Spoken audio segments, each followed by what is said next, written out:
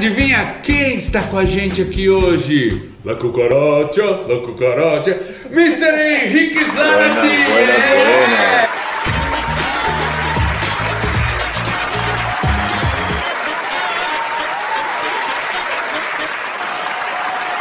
Bem, gente, Jóia, bem-vindo! obrigado pelo convite. Estava aguardando. A gente também estava super ansioso para gravar com você. E como é que estão as coisas aí, as correrias, Mr. Henrique Xará? Tá começando a, a melhorar, né? Esse pós-pandemia aí, de uma certa forma, agora tá tendo. Começou a ter um pouco de trabalho e tá evoluindo, então tá melhorando. Sim. Agora bora então para as perguntas inesperadas! Uou! Zarate, você já bebeu manga com leite? Já?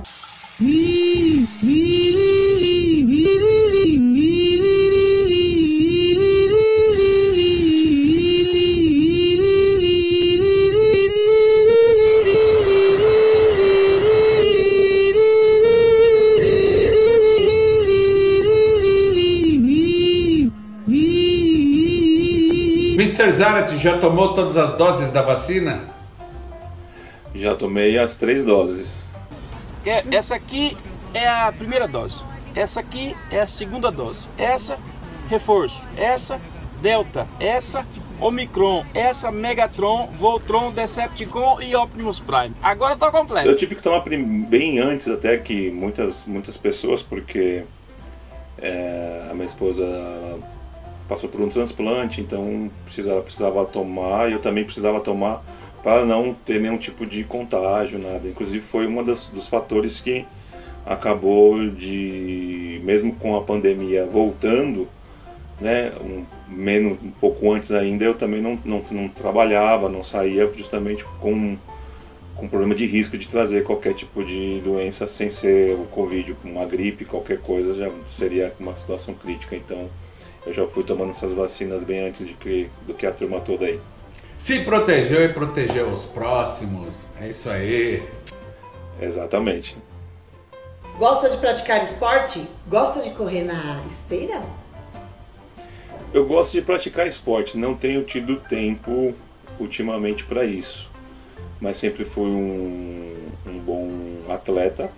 Eu sempre joguei futebol bem, vôlei é um esporte que eu sempre gostei também. Mas nada de Academia- esteira.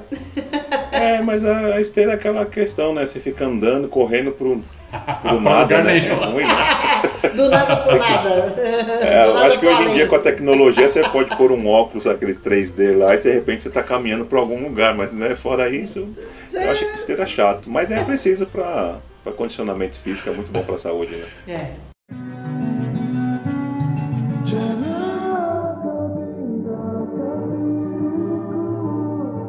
Mr. Zarate, alguma criança já te pregou uma peça? Nicolas, cuidado aí! Posso? Vai...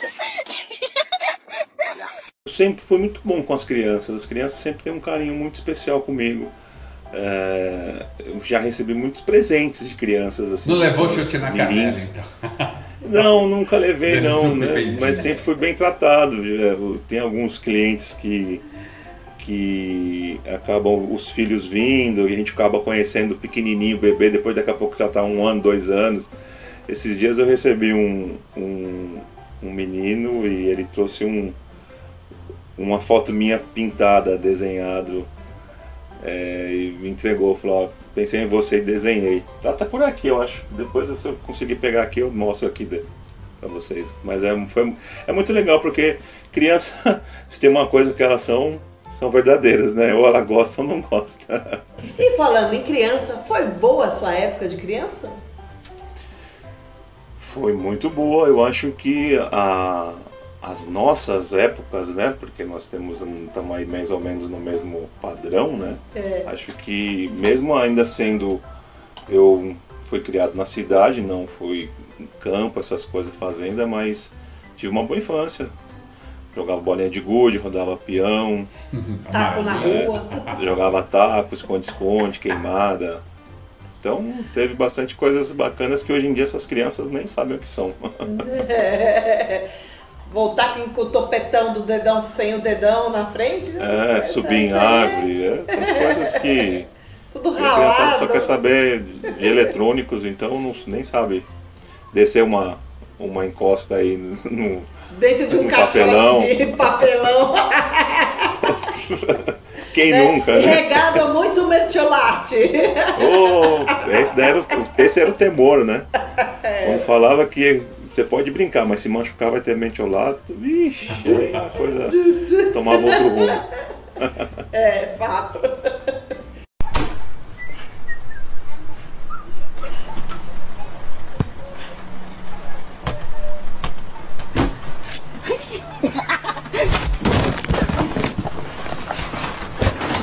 E das brincadeiras de adultos, já brincou de rali alguma vez? Não, ali não.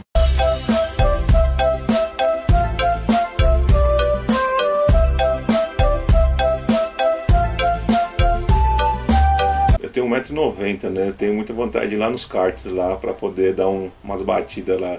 O máximo que de rally que eu fui naqueles carrinhos de, de- do Play Center, lembra? Play, o extinto Play Center, né? Que fala aqueles bate-bate lá.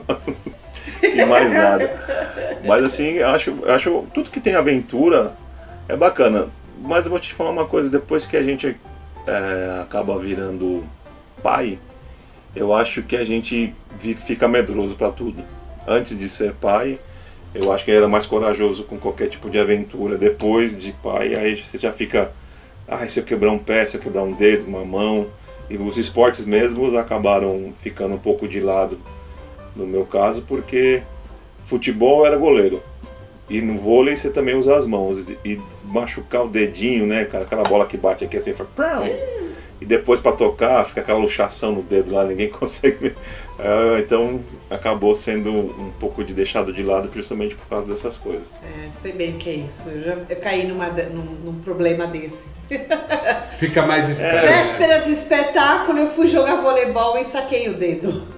É, aí Conclusão, não toquei. É, uma vez, uma vez assim, eu, eu também jogando bola de campo, né? eu- E eu era goleiro, como eu estava contando. E um dia fui jogar na linha de quarto zagueiro e fui dar um carrinho no, no outro jogador e meu pé enganchou na, na grama e quebrei o pé. Então, e, e- e tinha que tocar no outro dia. Isso foi num domingo, segunda-feira tinha show. Não, na segunda não. Na quarta-feira tinha show. Recuperei dois dias e na quarta-feira fui com o pé engessado fazer o show. Então é complicado. Então a gente é que acaba vivendo dessa questão da arte, a gente tem que tomar muito cuidado, porque principalmente assim, com voz, com. Esses aqui é- são os instrumentos que a gente tem, né? Voz e os- nossas mãos, né? Nossos dedos. Bora então fazer uns desafios aí, vamos ver como o Henrique Mas já? encara. Já é assim. Não vai nem esquentar na muito. lata.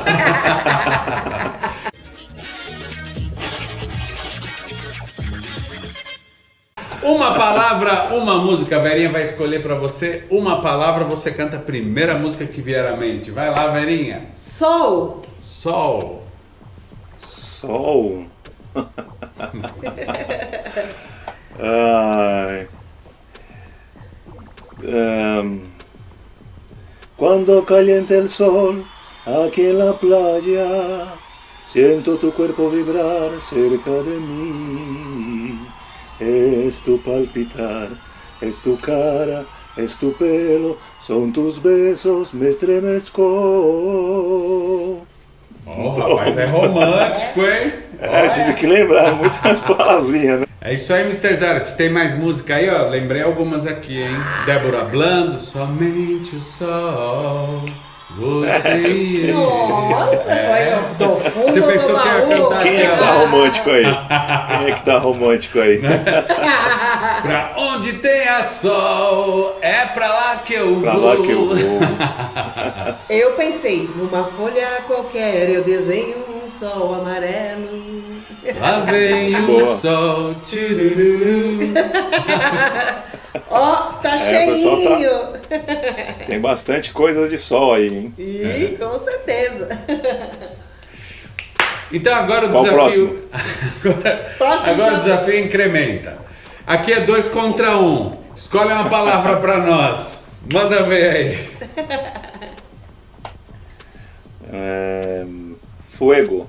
Fuego. Quer que se- espanhol ou vamos fazer em Ou vai ser em português agora? Não, Fiquei va- na dúvida. Vale, vale todas as línguas.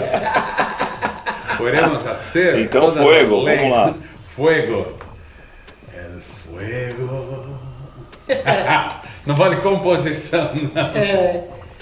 Meu coração amanheceu pegando fogo, fogo, Fuego, fuego. Foi uma morena que passou perto de mim e que me deixou assim. Ah, garoto esperto, hein? E que música você pensou, Henrique? Eu pensei em aquela. Tudio do, do filme do Narcos, né? Opa! Soy el fuego que arde tu piel, soy el agua que mata tu sed, el castillo, la torre yo soy, la espada que guarda el caudal, el aire que respiro yo y la luz de la luna en el mar, la garganta que ansio mojar, que temo ahogar de amor. Ó, pura poesia ali, hein? Eu senti um baixo aí, é caminhando do- lá embaixo. As notas, ó. Foi nas últimas notinhas do piano lá embaixo. É, foi- é, tem que ter, a gente tem que aproveitar essa, essa voz barítona aí, né? Essa Pessoal, segura aí, é, mas. barítono tem, tem que alcançar esses graves aí. É agora que você vai aproveitar bastante, porque é agora da roleta musical. Puxa a vinheta aí, Opa. Verinha.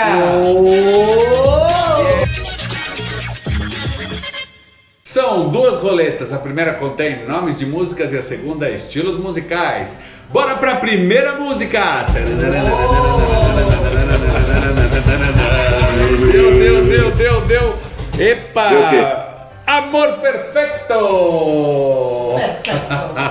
Amor perfeito. Essa é boa, hein? Bora então pro Vamos lá. estilo musical.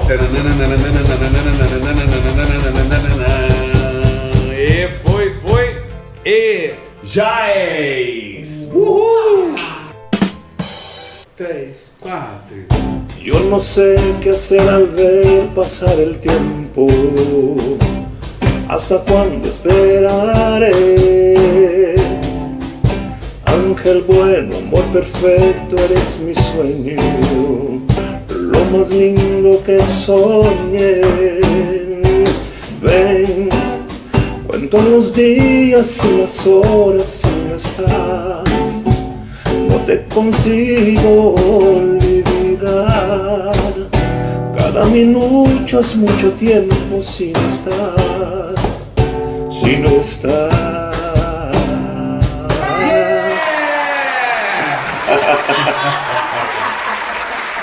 Bora então pra próxima música. Vamos ver que, qual é a surpresa agora. Azul? Azul. Azul, verde? Amarelo? Um gran... ah, Não, quando um gran amor se... Quando um grande amor se faz. Bora então pro estilo musical. Esse estilo musical vai acabar comigo.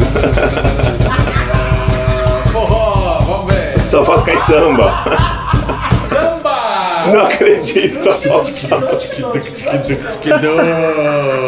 Agora que o Marete vai sambar.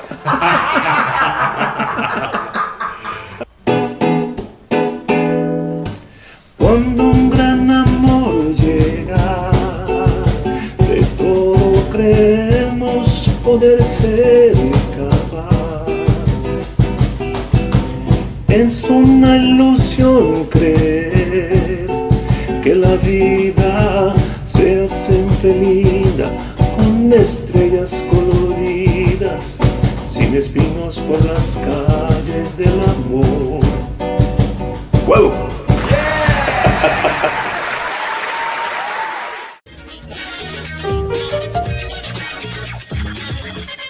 A Verinha vai tocar no piano um acorde Zarat. Você canta a primeira música que vier à mente. Capricha, centro.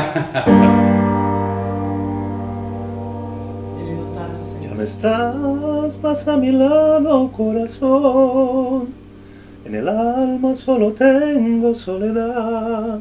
Y si ya no puedo verte, porque Dios me hizo quererte para hacerme sufrir más.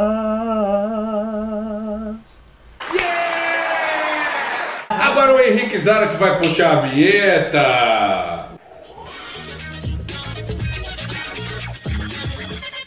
Um cantor, um desafio. E, e, e, deu, deu, deu, tá parando já, ó. Marrom, o que será? Tente outra vez! Yeah! Vai ter que buscar uma panela. Panela! Panela! Panela! Tente outra vez?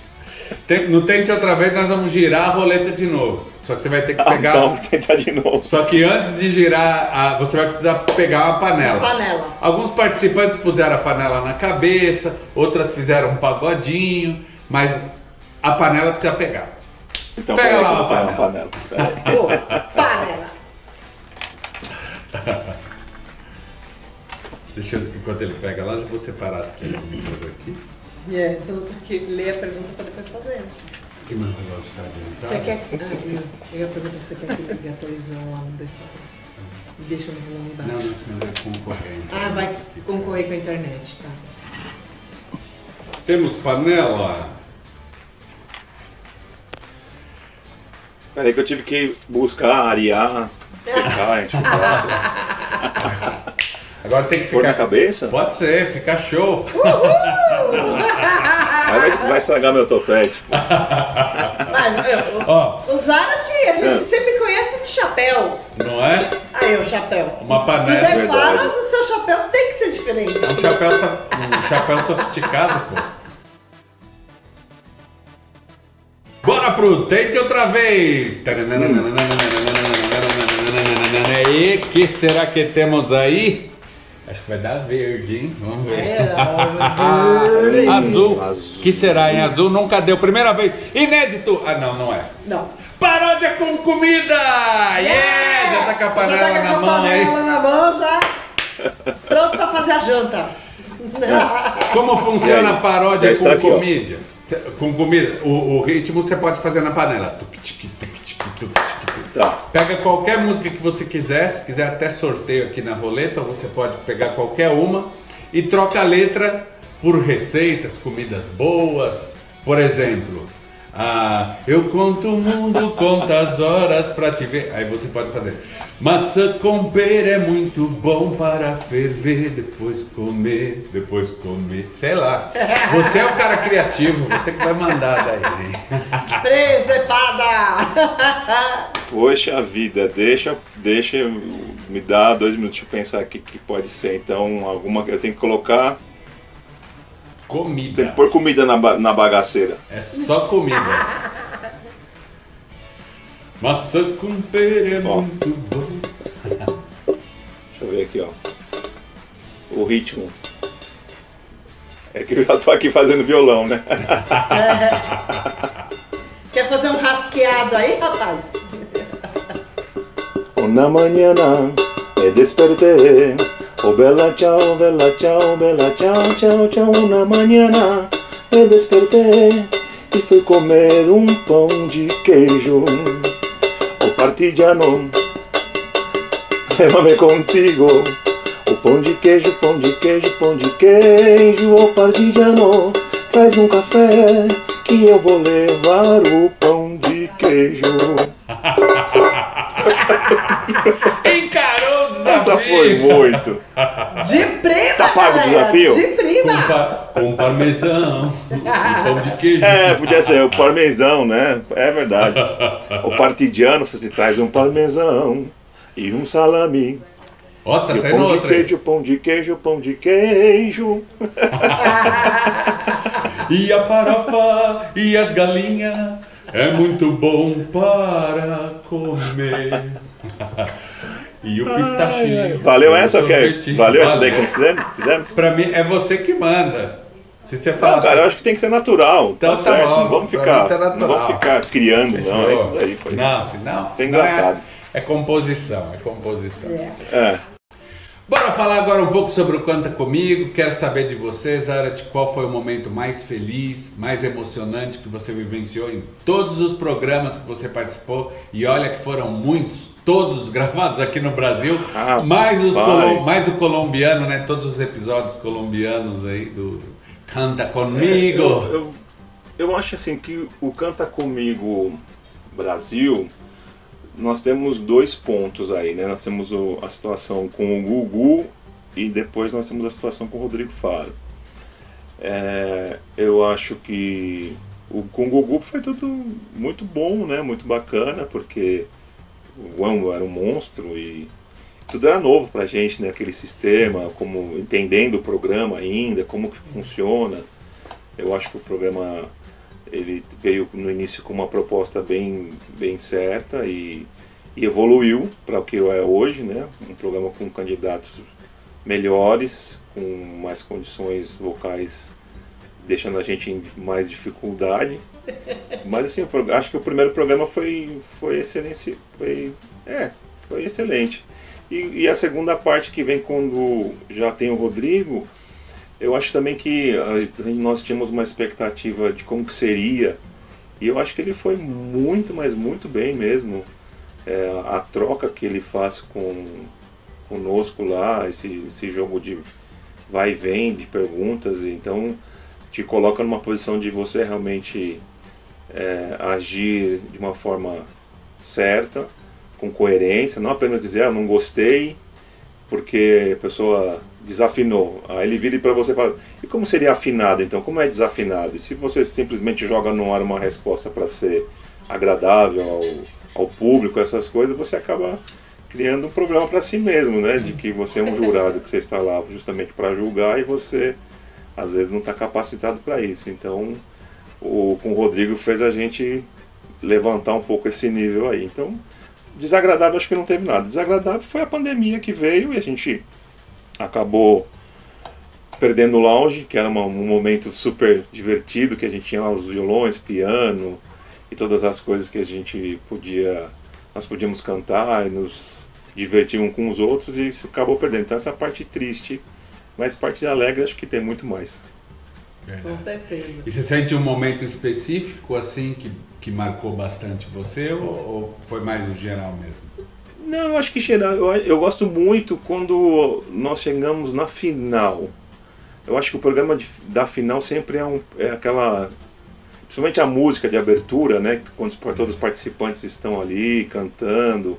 O Tim também é maravilhoso, as crianças também que, que é uma surpresa muito, muito agradável, né? Crianças de 9, 10, 11 anos cantando, dançando, interpretando e nossa, tudo aquilo eu fico falando, eu com com 15 ainda estava jogando alguma coisa, alguma bolinha de gude, algum peão, com 10, 12 já da cambalhota e toda essa performance. Então, é, todos os momentos foram bons. O, o programa é um ótimo programa mesmo, para família, para você se divertir e deixar um pouco os problemas de lado e ter um momento alegre. Então resume pra gente em apenas uma palavrinha o Canta Comigo. Uma palavra. Alegria. Ó. Chutou, bateu e acertou no gol. Mandou pra dentro. Bora falar agora sobre a sua carreira, o que, que você está aprontando aí, o que virão nos próximos meses. Conta pra gente aí, Mr. Henrique. Esconde nada não. Não, não. Ah, que bacana. Bom, a, a gente agora tá voltando com algumas atividades que, que, eu, que eu já tinha. Né? Eu tenho junto com a minha esposa um delivery mexicano. Nós trabalhamos bastante nessa pandemia depois aí com uma situação que eu falei do transplante teve que dar uma segurada, mas agora ela está nota mil recuperada e a mil por hora, então a gente estava pensando já em voltar. Ele deve voltar já esse serviço aí para o mês que vem, depois pós, pós gravações, né, que nós vamos ter início agora, então para maio, mais ou menos, deve voltar essa parte do buffet delivery de novo mexicano. Os trabalhos, é, música sempre é uma coisa bacana, a gente sempre tem músicas novas tocando, tem as, as plataformas aí, as pessoas podem procurar por Henrique que tem as músicas soltas que vão desde um bolero mexicano, tem até músicas em português que eu não canto muito português, mas também tem algumas coisas lá no um, um portu, português com sotaque espanhol. Isso é incrível, né? Porque como minha carreira é, sempre foi em música latina, então quando eu canto alguma coisa em português, vem o sotaque do, do espanhol. É engraçado isso. E se você quer saber muito mais o que, que o Henrique vai aprontar nos próximos meses, além das plataformas de streaming, segue ele no Instagram. Passa pra gente aí, Henrique. Henrique Zarate Oficial. Pode ir lá, tá no Instagram, YouTube. É, eu não sou, eu vou confessar que eu, eu, tenho que dar uma melhorada nessas questões digitais, né? Eu digo que eu sou meio dinossauro com isso daí. É, eu acho que a gente precisa, nosso trabalho exige esse tipo de situação, mas ainda prefiro a conversa pessoal. Eu acho que as pessoas se perderam muito, tudo é mensagem, um emoji lá, um joia, uma cara triste, uma cara não sei o que, e a pessoa pensa o que quiser. Então, é, tem as músicas porque você precisa ter lá no, no, no, YouTube, tem um canal, e eu vou abastecendo conforme vai, vai dando certo aí, eu vou colocando, mas eu ainda preciso melhorar bastante nessas coisas.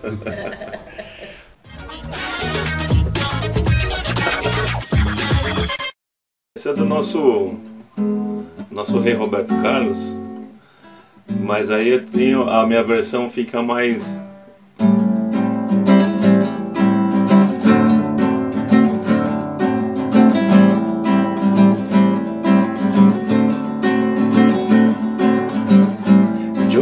sé qué hacer a ver pasar el tiempo, hasta cuando esperaré.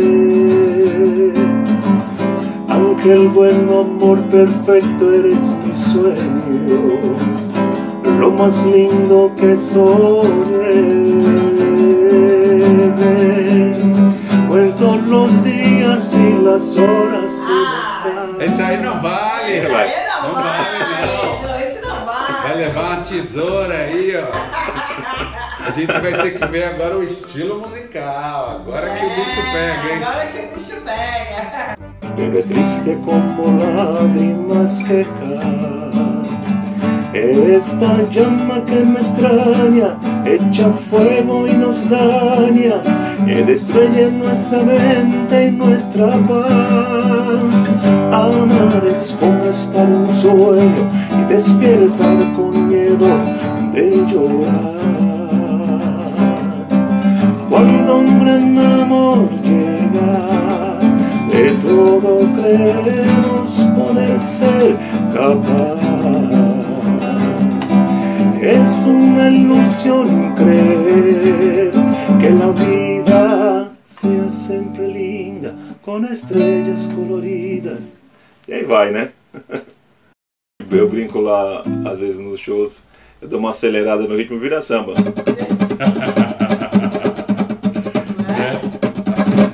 Virou samba. Só faltou o pandeiro.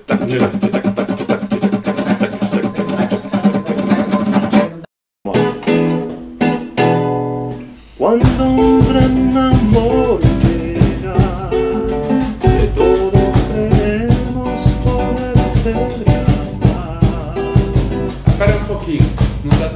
você na filmagem ali, ó.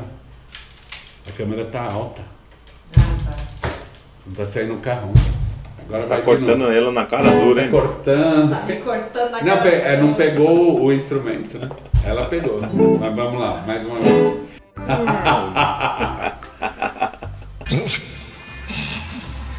Opa, tem que refazer a pergunta. É, Perfeito, Mister. Foi um grande prazer te receber aqui no The Falas Meet.